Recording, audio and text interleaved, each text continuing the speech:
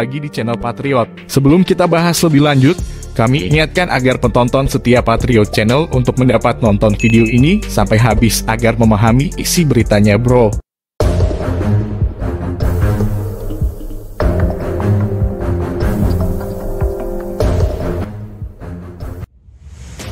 Rudal Derby, senjata jarak jauh andalan jet tempur Tejas Malaysia yang ternyata buatan perusahaan Israel.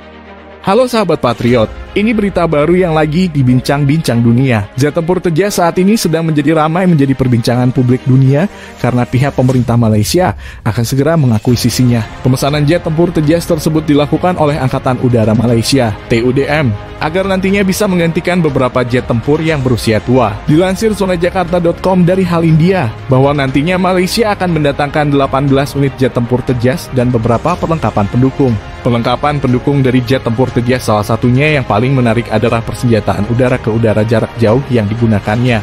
Diketahui senjata jarak jauh udara-udara yang digunakan jet tempur Tejas adalah rudal Derby atau yang disebut sebagai rudal varian Python.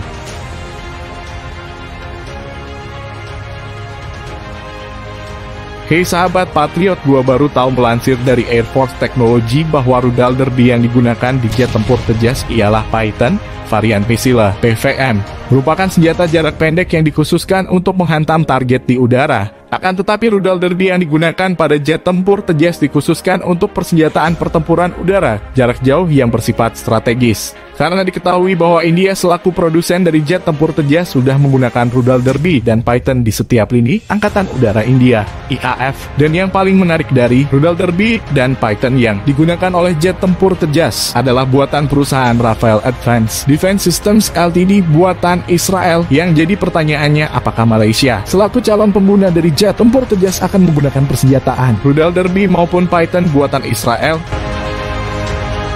Halo sahabat Patriot, Sebelum kita lanjut pembahasan berikutnya, jangan lupa like, subscribe, share, dan komen di bawah. Terima kasih bosku.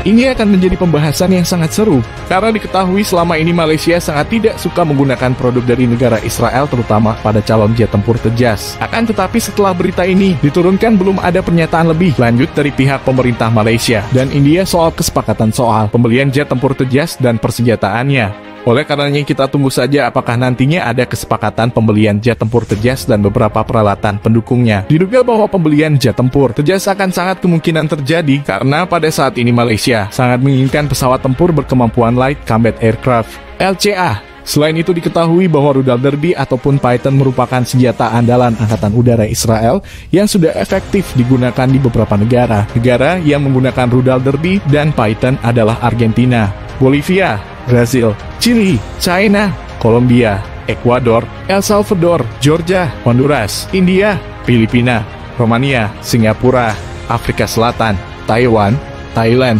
Vietnam, dan Venezuela. Dengan 20 negara yang sudah menggunakannya, diyakini bahwa senjata udara rudal Derby dan Python memang sangat ampuh untuk segala kemampuan pertempuran. Terlebih lagi bahwa rudal Derby dan Python sangat cocok dipasangkan dengan beberapa sistem teknologi pada semua jet tempur.